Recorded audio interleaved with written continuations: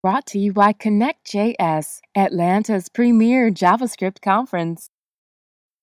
Sponsored in part by FeatherDirect. Need a mobile app? Contact us for your custom mobile solution. Um, this talk is called Adventures in Cross Platform. It's really just um, talking about some experiences that I've had developing apps with Titanium, um, mainly iOS and Android, and just some gotchas that I've come across, the experiences of the way I approach development, dealing with clients, payments, publications to app stores, and things like that. A little bit about me. I'm a freelance app developer based in Wiltshire in the UK. I work from home, I have a TARDIS, uh, which is going to be a loo. It's been converted to an office loo. Um, married with four kids who uh, interrupt me constantly. Um, I'm a Titan, so I'm one of the community Titans that are an advocate of the platform. Also certified um, as a TCE and a trainer um, of Titanium as well. And I'm not ashamed to say I'm a fanboy of Titanium. It pays my way, it pays for my office, it pays for my TARDIS. So I, am I'm a, a, promoter and an advocate of the platform. And I've used other platforms as well, like PhoneGap and Xamarin, so i I'm not blinkered to other things that are out there but Titanium is my, uh, my choice for developing mobile. Um, just a quick example of some recent apps that I've been working on with Titanium. So, oh, I missed a slide. So let me go back. There we go. Oh, no. Oh, I've got some silly animation going on. Anyway, um, I developed the app for the Stonehenge audio tour. So Stonehenge in the UK went through a huge um, rebuild of the visitor centre, and part of that was to develop, they wanted an app that people could download and go around when they do the audio tour. So I developed an app for iOS and Android to do that, that was downloaded um, from the App Store and then downloads um, JSON data and audio data remotely from the local server. I also built an app called the Great British Bee which was for Android and iOS again, had quite a unique user interface, um, and it was featured on a program called BBC Springwatch and on, on the news channels in the UK. And it was all about the diminishing of the bees around the world. And so they were trying to promote people to get outside, take photos, discover bees, look at the different types of bees, and submit all that to a central server, which would then do a count of those bees. Um, and they could then research, uh, they could then go into the research for Friends of the Earth who were paying for the app. So that was quite a fun project to do. So things I've learnt and I'm still learning. First things, clients. How, many people here are freelance? Okay, cool. So you'll, you'll, you'll get some, uh, you'll understand these next slides. They all start somewhere, and usually with an inquiry. So these are some real inquiries that I get, or had. We'd like an app like Instagram, can you price it? Can you give me a timescale? The best one I like was the Twitter one. It's like Twitter but location based. Uh, or people with a Flash app that they want wrapped in a native app and then put in the App Store. And the best one, basically, is just our website in an app. And so these are the typical inquiries you've got to deal with. So one of the things I've learned when I'm pricing apps is to break down the costs. I fell into a trap in the, my very first commercial app that I did I bundled the price together, did iOS and Android, put the whole price together as one thing, we started development, typically on iOS at the time, this was several years ago. And midway through the project, they abandoned the Android app. And of course, their perception was, I gave a price, I did two apps, or I gave a price for two apps, split down the middle, pay me for half of the work done. Not understanding that with Titanium, 80, 90% of the work you've done is common to both. So through my own failing really, I, I missed out on an opportunity. So what I do now is I break down the costs. So I make sure that I split the, the apps down by pricing, uh, by function, by platform. Um, I put in core cost for the development of the 80% functionality that's going to be shared between Android and iOS. And then I put together pricing for the UI for iOS and Android. I include costs for the builds, the beta distributions, and any redistributions that I need to do in terms of testing, and obviously the App Store submissions and possible resubmissions. I've had probably two apps, I think, that got rejected because of certain ways that the app had been, uh, certain functionality in the app that needed to be changed. So I need to factor in that sort of thing. And the other thing I'm really careful of now is dealing with third parties, specifically API developers. Um, not that they're bad or anything, but obviously that's another factor in the app that you've got to worry about. As far as the client's concerned, they launch the app, the app breaks, you know, something's wrong with your code. What they don't, might not realize is the API might have changed, there might be something else to deal with. And when you're dealing with fixed price projects like I have been, that's a difficult one to factor in because you can't anticipate issues with the API. They're going to take up three hours of your time to try and solve. The other challenge is with design. We love designers. But typically, in my experience, most of the ones I've dealt with use Apple devices.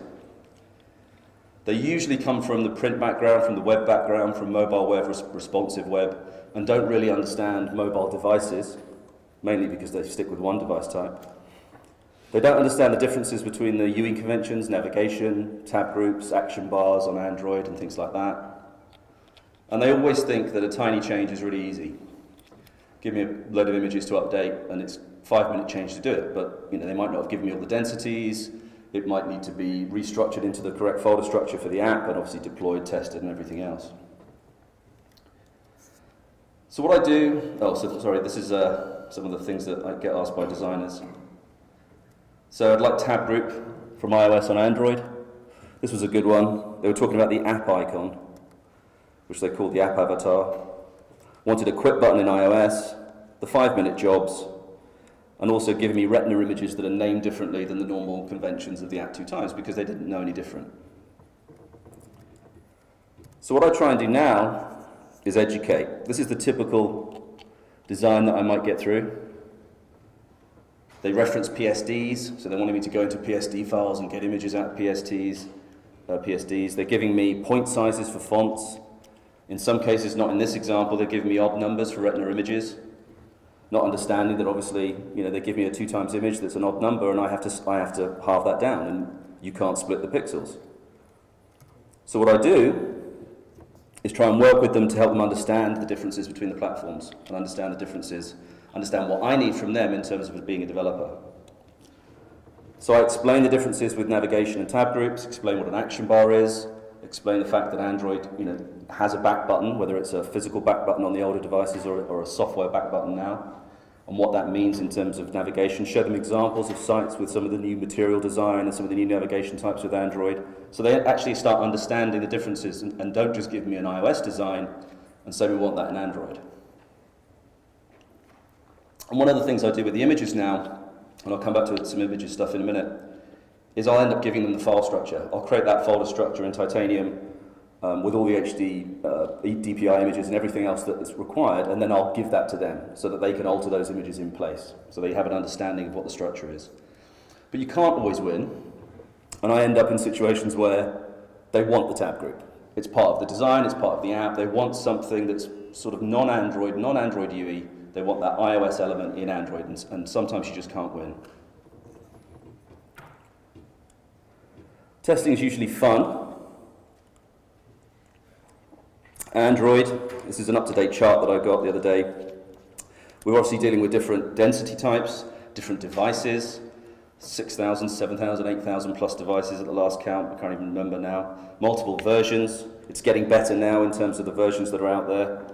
And what I call crapware, which is the, I had to buy a couple of devices from HTC and Samsung because of the extra theming that they install on the devices which was messing up some of the fields with the titanium app that I was building, which didn't happen on any other Android device, didn't happen on Genymotion, but on a specific series of Samsung devices, the fields were black.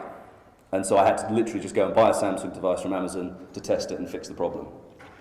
So you can't test everything in the emulator, in the simulators. You need to have some physical devices. Obviously, you can't have 6,000, but I do buy, a I do have a series of devices on my desk, which are usually at 0%, and I have to charge them up each time um, that have these different attributes, a tablet, an HDPI device, an XX DPI device, just so I can test these different things out. But one of the big changes I made recently, which has helped me no end, is just restricting the versions that I work with now. So I only do Android 4 and above. Obviously, with, the, the with Titanium and iOS, especially with the new um, iOS 8 SDK, it's supporting 7 and 8. With 7, it was 6 and 7, so that's, that's nicely limited as well. So that makes my job a lot easier. And obviously, you know, Android's fragmented and iOS isn't, is it? except it sort of is getting there. It's not as bad, but now we've got, you know, the 3.5 device, the 3.5 inch non-retina devices are hopefully slowly disappearing. So we're, we're, going to be stuck, well, say stuck, but we're going to have the retina images to work with. But now we've got new devices, we've got new screen sizes, um, we've got iPads, we've got iPhone 6s, and you know, it's becoming more interesting to test on iOS now. And Retina and Retina HD as well. Deployment, when I'm building, I tend to build now uh, by doing iterative builds and then giving that to the customer. And one of the best ways I can do that is using products like Installr. So I used to use TestFlight before they got bought by Apple, and then obviously dropped the Android support. Um, and Installr is an awesome tool written by a guy called Jeff Bonnes. I'm just trying to find my notes on here because this screen setup has thrown me slightly. There we go. Um, and what Installr does, which is really unique, there's a slight issue with iOS 8 at the moment, which they're fixing. But what Installr does is it allows you to do real-time provisioning updates. So once they fix this iOS 8 issue, it'll, it'll go back to normal, but at the moment it works a bit like TestFlight. But essentially the concept is I build an app, I sign it with a provisioning profile on iOS with my device, I upload it to Installr, and what Installr does is when I send the invites out to the users and they register their device, it changes the provisioning profile in the development portal. It then updates the provisioning profile on their device and allows them to download and install the app.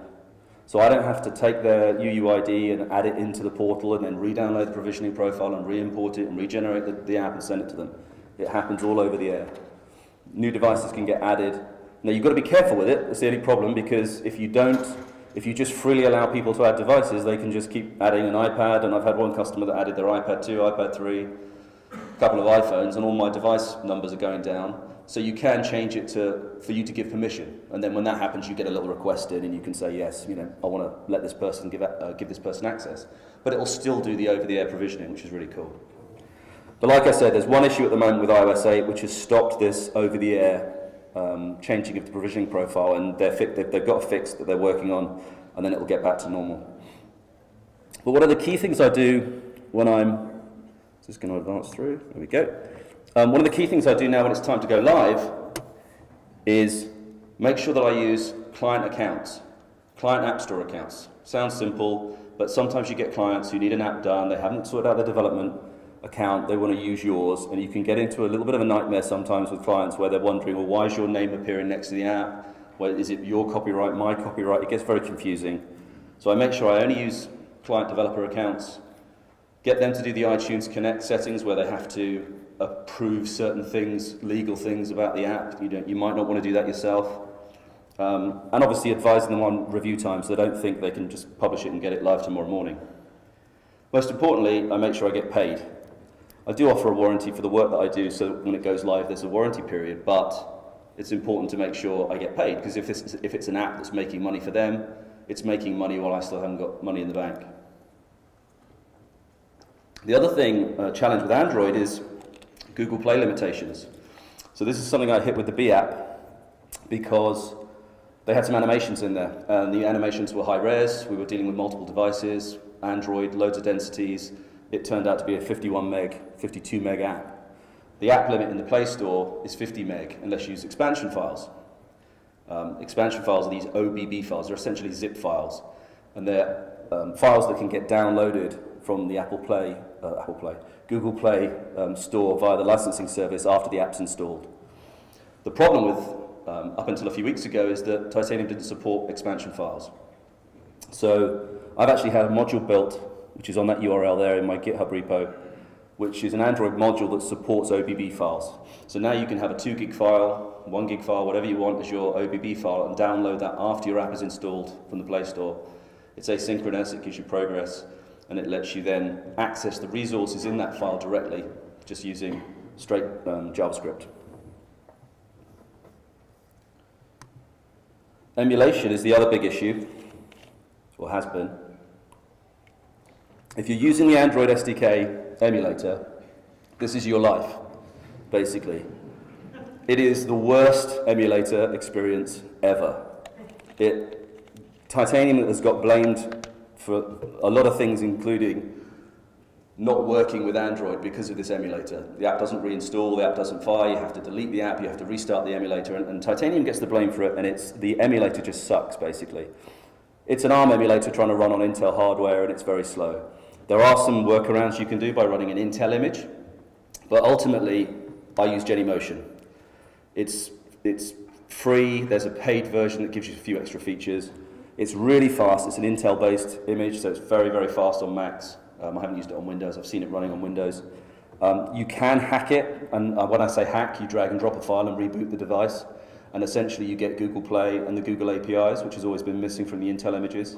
So you can actually go to the Play Store and download games, download apps, download your live app, download other apps, download the Twitter app, and actually use them like a device. And it runs as fast as a device. You can run YouTube and things like that. It's really impressive. It's got some good GPS and mapping tools for testing GPS. And it, it sort of you know, makes it possible. I've, I've done apps now where I've started with Android. I've been working with the Android emulator rather than iOS because it just makes it a much, more, a much, much nicer experience. The other tool I use, or two tools, are LiveView and TiShadow. So I know Fokke has already covered some of these already, or covered um, uh, TiShadow, and yeah, he's covered both of these already in the, in the CLI talk. These tools are great.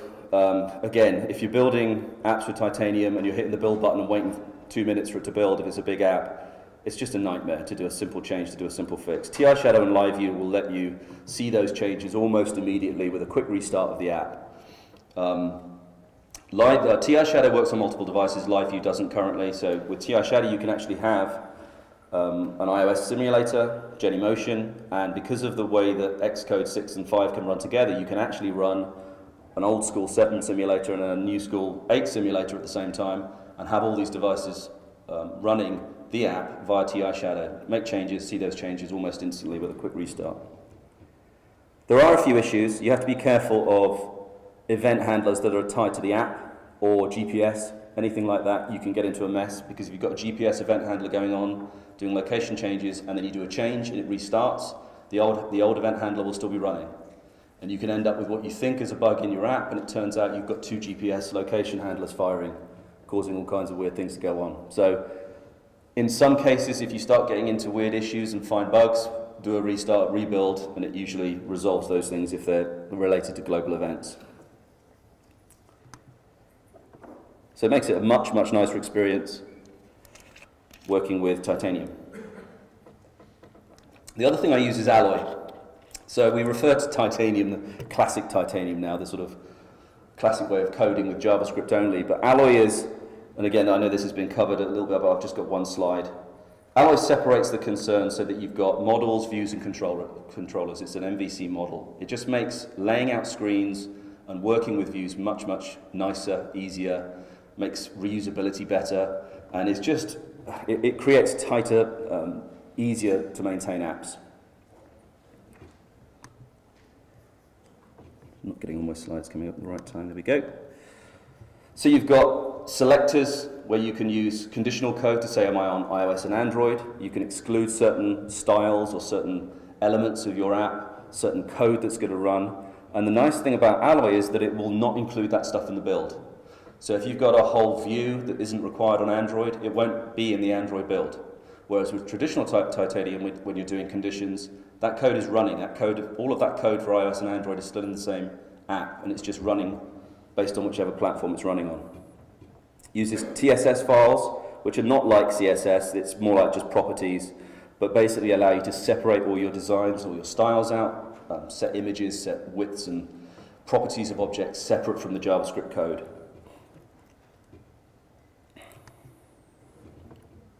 So it makes things a lot, easier. Dealing with platforms and screens. So one of the things I do now when I'm using Alloy is, and I, am doing an app at the moment for a recruitment startup, I spend a, quite a bit of time initially just creating all the styles. So with the app.tss file, I basically create all my classes. So you can sort of see a couple there um, where I've created one called tight, which uses Ti.UI.SIZE to bring any views tight so you don't get that issue of the views filling the screen. Um, I might have styles for fonts, for colors, for rounding buttons, uh, button corners and things like that. I create all those styles and lay out the UI elements on the screen so that I can see what a slide is going to look like, see what the buttons are going to look like, test that in both Android and iOS before I've even written any JavaScript. And the beauty of doing that is that when I then come to lay out the XML files, all I'm doing is assigning those classes. And I know that it's already going to work in Android and iOS because I've already tested that. So it means you can lay out the screen in iOS, fire it up in Android, and it looks exactly as you expected it because you've already done that legwork.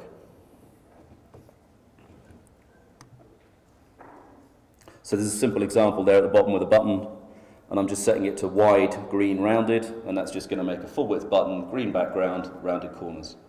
Just lay out those classes. And there's no overhead in, in putting as many classes as you want in there because Alloy essentially pre-compiles or pre-processes the code into normal titanium before it's built. So this isn't happening at runtime. It's doing all those properties before the app is actually run. And with some of these techniques, I'm finding it a lot easier now to deal with, especially the new apps, the, uh, sorry, the new devices, the iPhone 6. So the, the app I'm working at the moment, I actually launched it in the iPhone 6 simulator, and it actually worked. and it looked fine, and there was no fixed widths or 320 widths that I put in there, because one of the things that I'm doing now as well is using fixed anchor points. And so I saw a tweet a few weeks ago, there was a conference going on, and someone tweeted this, that, sorry, that um, type is the one constant across all screen sizes. And it is, if you don't include top, left, bottom and right. Now obviously wearables, round screens, you know, slightly different, but on all of these different screens that I'm dealing with, there's always a top left, there's always a bottom right. And so if I anchor things around those points, they're going to scale, they're going to work. And obviously percentages you can use as well. So one of the things i am doing is I'm building flexible layouts. I'm using top left, bottom right. I'm avoiding using fixed widths. Gone are the days now where you could assume that every iPhone used a DP width of 320 and you could get away with it. Can't do that anymore. Um, using TI, Ti.UI.SIZE, if you're familiar with the um, constants, Ti.UI.SIZE makes something as big as the contents that it, create, it contains. Ti.UI.FILL fills the parent element that that element is inside. So using those techniques, you can avoid using fixed pixels. You can avoid typing in 320 and, and, and make things that are going to scale to these bigger screens.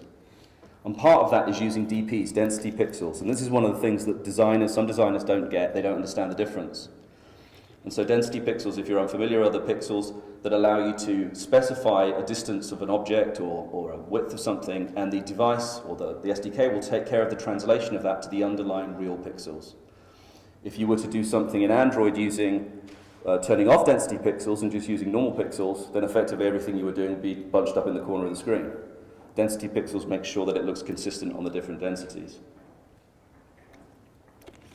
The percentages, and also dynamic buttons. One of the things I get when I'm doing um, apps is obviously designers will send me um, image-based buttons. They'll use a standard font, Helvetica or whatever. They'll create an image and then give me all those buttons. And I end up with density, non-density, and have to generate all the Android assets. And I've got 200 images for one button when I could just have the font and the color and do the rounding myself, and I've got a dynamic button that takes up virtually no memory. So that's, that's one thing I try and do as well. And also density on Android with Titanium can be very, very granular. If you look at some of the documentation, you can end up with about 30 folders. Not long, long, portrait, landscape, all kinds of different configurations. So I keep it really simple. Keep it down to the, the core densities um, and just you know, make sure that I've got that file structure in place. Keep it really simple and use Retina images as my XHDPI. There's almost a one-to-one -one match between XHDPI and Retina. And then one of the techniques that I use is TiCons, which um, Fokke mentioned. So using the command line of the TiCons um, service that he's written to actually take those Retina images and generate all of the other density images for Android. So with one set of Retina images, I get all of my density folders done. And it just makes, makes the job a lot easier. Obviously for the XX and the XXX, it's going to scale stuff up. But the beauty of that then is you end up with a folder structure that you can give to the designer. So here's my folder structure with all my images. You can replace all these images now with your high-res versions, your crisp versions. Just use the same files, same names, same footprint of the image, and I can just swap it straight over.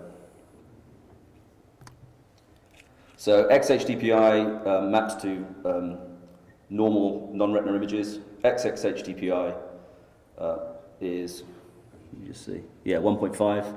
Um, and, and I think, can't remember what the uh, times 3 was. I think it was XXX or something.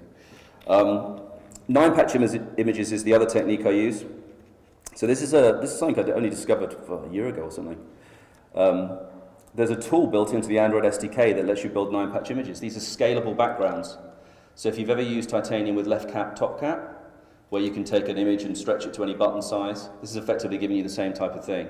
So you, you can have a, a, background image that represents the curvature of a button, just as a 50 by 50 or 100 by 100 image, and reuse that for different size buttons. You can also do that for splash screens, uh, and again, TiCons will take care of doing your app, your um, app icon generation and your splash screen generation using 9patch, so you get a really optimized set of images for Android. The next thing is optimization. Android has always, I don't want to say suffered, but it's always been different from iOS in terms of how much stuff you can throw at, at, at the screen. With iOS, you, you, throw views into tables and list views and um, uh, views and buttons and labels on the screen, and iOS seems to eat it up. And Android can suffer. So I tend to be really, really careful with Android, and obviously that helps um, iOS as well reduce the amount of views that I'm using, reduce the amount of nested views, especially when you're sort of nesting views together for no real reason and using them a bit liberally like divs in, in HTML. Keep things really simple. Try and use list views instead of table views. If, you, if you're using a table view and you're putting 100 rows of data in it and it's got a label and an image, that could be 800 calls to the API underneath the Titanium SDK. And that's 800 over the bridge calls, we call them.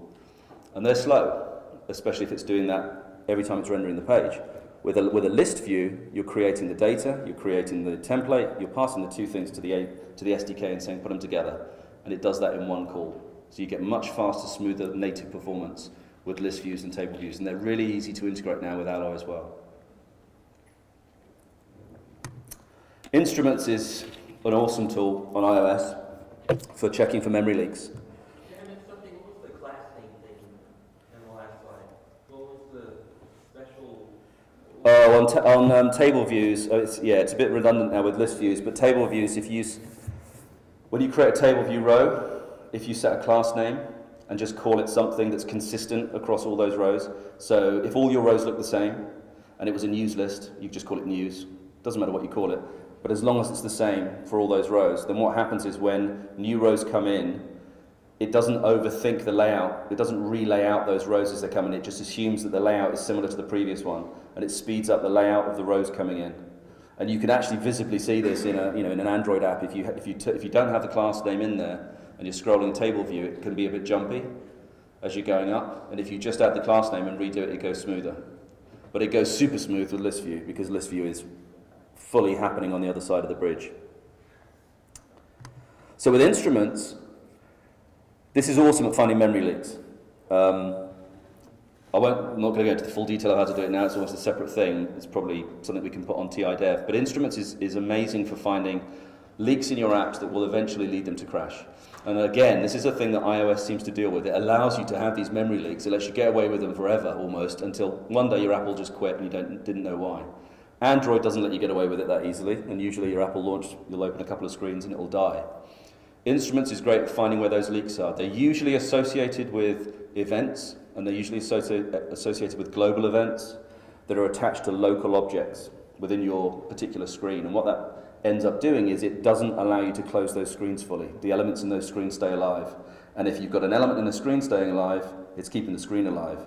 And if there's other things linked to that, you've got a memory leak. There's a great video by Rick Blalock called Your Apps Are Leaking.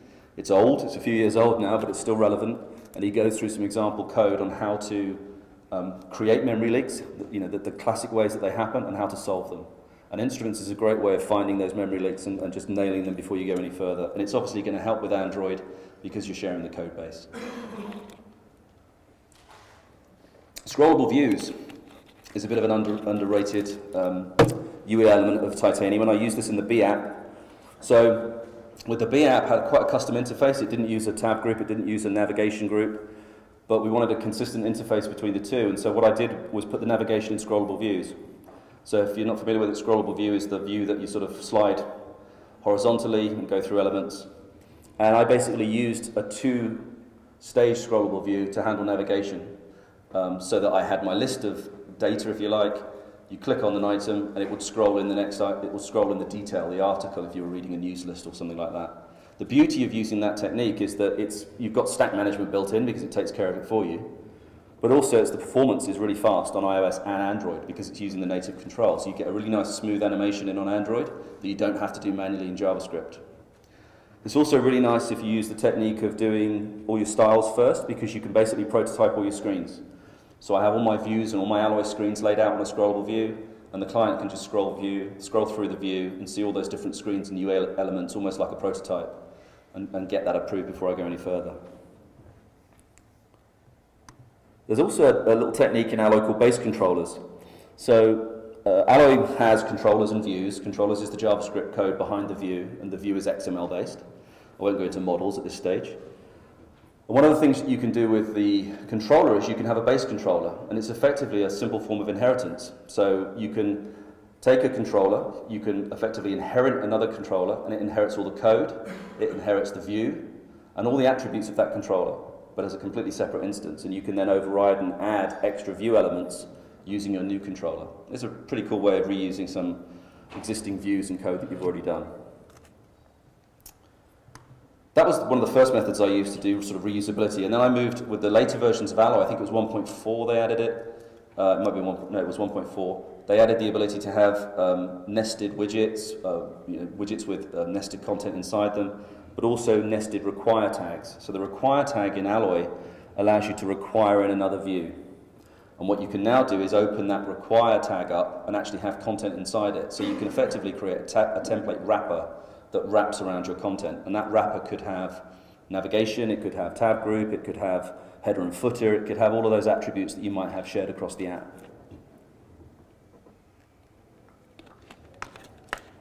It's a simpler way of doing it than, than using the normal Alloy widgets. But one of the cool things that you can do in Alloy, which I've been playing with, is you can create your own tags.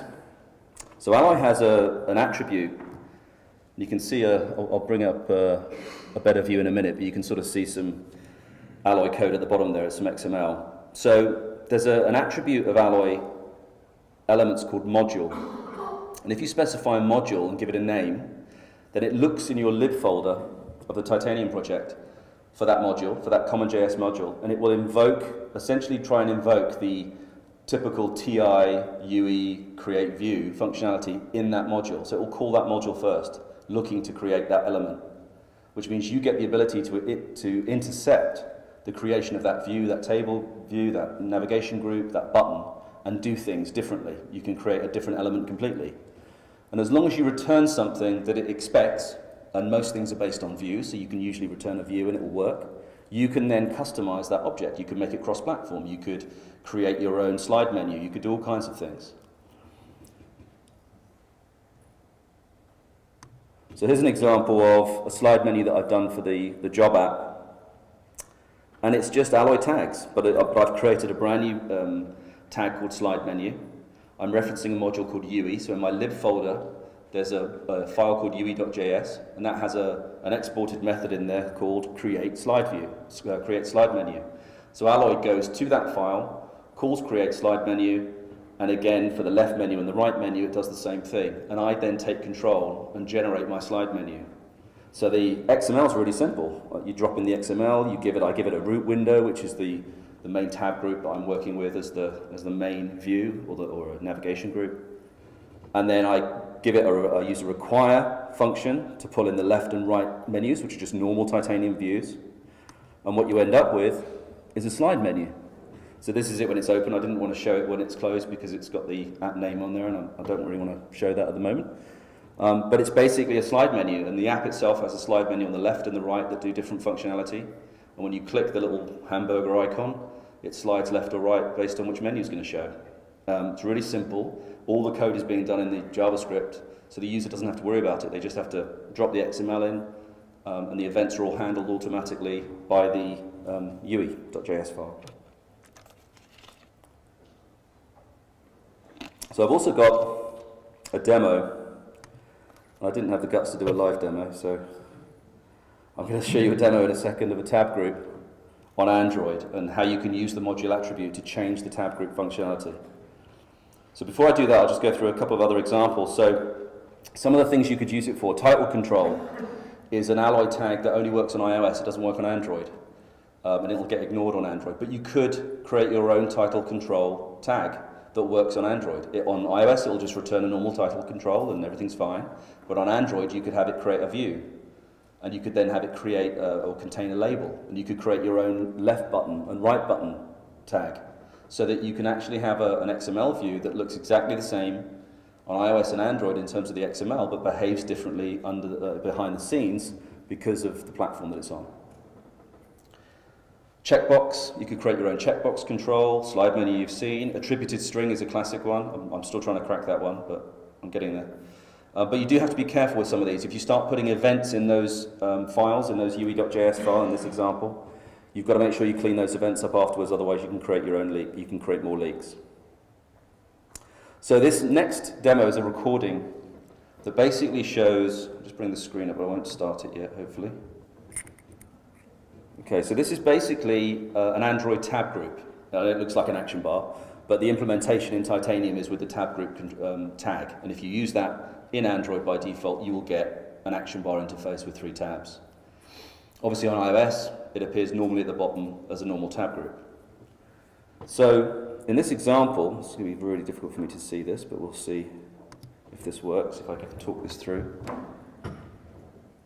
So we've got normal tabs in Android, you can click between them, we've got the labels, it's just a default project. And if I click that, it opens a new window. The return button works as you'd expect in Android. And it behaves exactly as it would by default. But if we take the code, and we just add this extra module, just about to see what's going on, you can see the attribute that's being added. It's exactly the same tab group code, nothing else has changed. We've just added this one module attribute to the tab group and the window. Go back to the emulator, save it, it will hot reload it, and we've got now got what looks like an iOS tab group, but it's based on the same default functionality. All of those labels still work, they still open the views, just like they did before. But, and there's a dodgy next button, I put, a back button I put in there just by default. But essentially, it's behaving very much like an iOS tab group, looking like an iOS tab group, but on Android, with one change, just one attribute change, no other code change at all.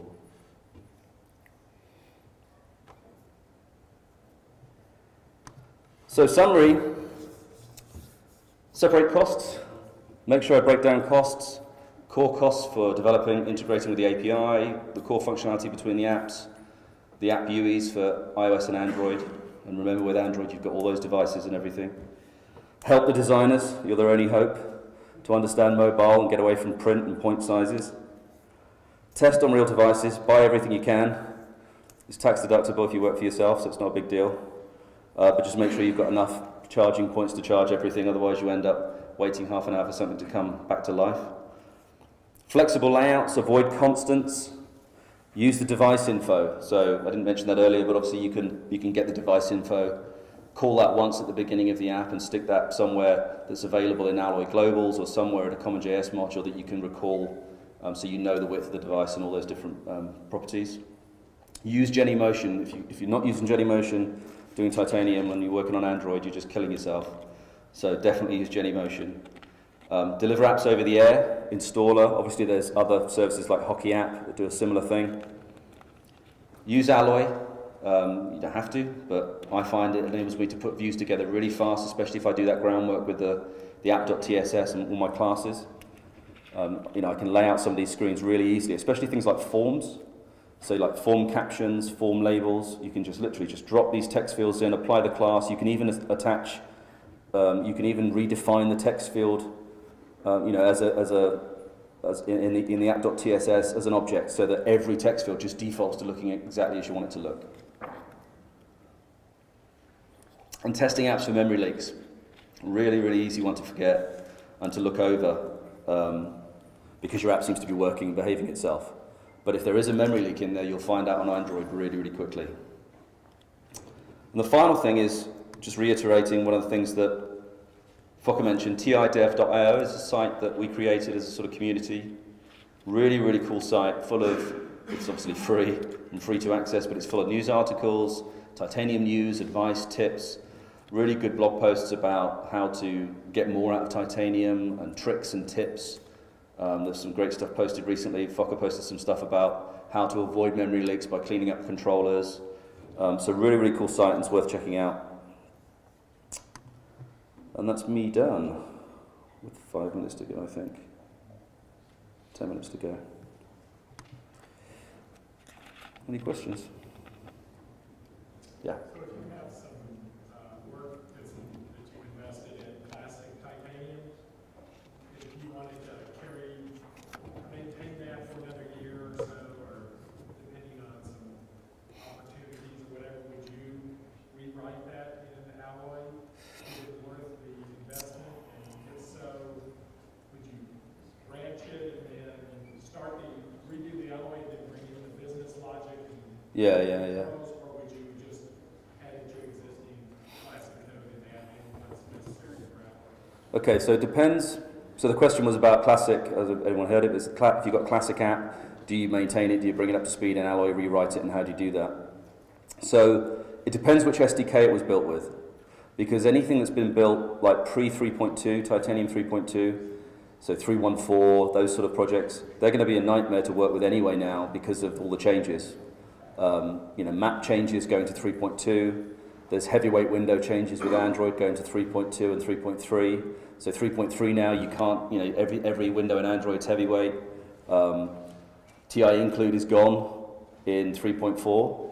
So apps are not going to work if they've got Ti.include. So it really depends what state the SDK is in. If it's a if it's a classic app that's written in CommonJS and it was able to be translated up, it really depends on what needs to be done with it. The nice thing about Alloy and Titanium is that Alloy is Alloy generates titanium. So there's you know whilst Alloy is great for for building apps really quickly, sometimes you might just write a bit of classic titanium in there to create a view or a button that you need without going through all of the alloy code because you could do that and you could mix and match. So there's no reason why you couldn't partially convert an app as you go over to alloy. You know you could especially if, if it's been nicely separated already if there's lots of modules that are already doing api integration all that stuff they're going to stay exactly the same. It's just your ui that's going to change. So you could you could create a new i mean i would probably yeah create a new branch.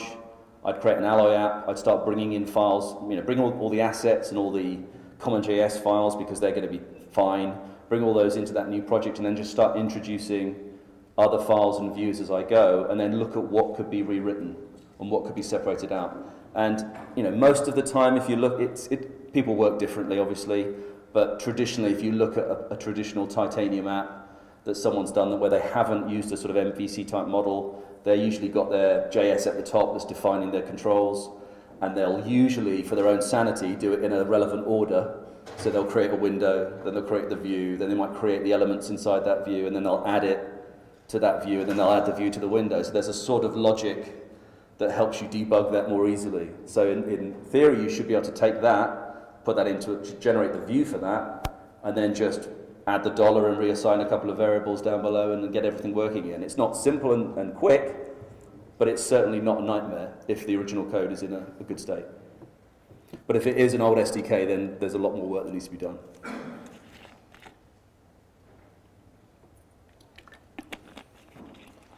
Any other questions?